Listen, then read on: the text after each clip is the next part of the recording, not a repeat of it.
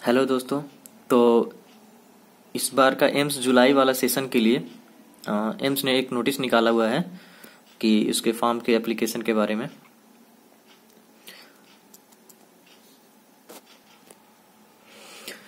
इसमें से जो बेसिक रजिस्ट्रेशन के लिए था तो वो तो सत्ताईस ग्यारह दो हज़ार उन्नीस और ये टेन टू, दस फरवरी दो हज़ार बीस तक को क्लोज हो जाएगा।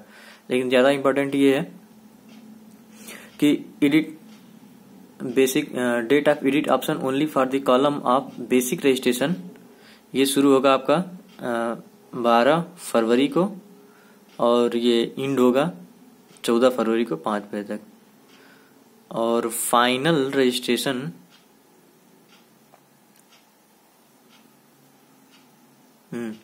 date of edit option only for the column of final registration ठीक है तो फाइनल रजिस्ट्रेशन का जो डेट है 26 मार्च 2020 और क्लोजिंग डेट है 28 तीन मार्च 2020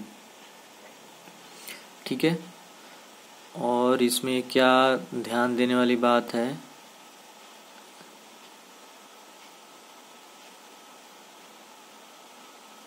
ये है कि एग्जामिनेशन का डेट पता है, तीन मई 2020 को होगा।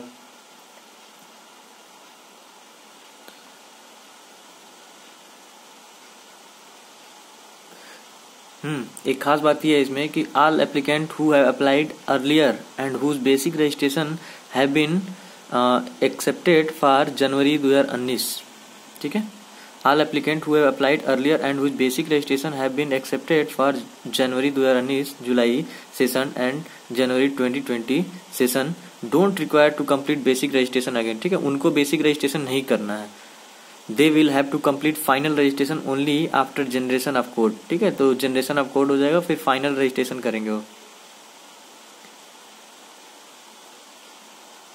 फिर कुछ मार्क किया है हमने कि candidate requiring correction in basic registration और final registration the edit panel will be available as per schedule only for limited period ठीक? It may kindly be noted that the editing shall be done only by the candidate and candidate will be responsible for all correction.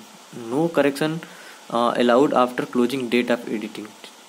ठीक है? तो applicant may not that further correspond will not be entertain in this regard और इसने जो limited duration की बात की जो लिमिटेड पीरियड की बात की है वो है आपका चौदह दो दो हज़ार बीस बाई पाँच पी तक आप करेक्शन कर सकते हैं उसके बाद से आप करेक्शन नहीं कर पाएँगे।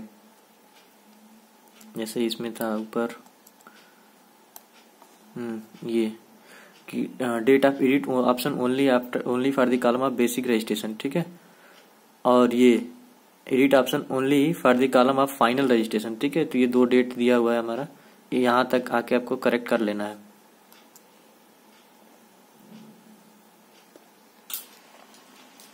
ठीक है? तो ये हमारा एम्स का कुछ नोटिफिकेशन था।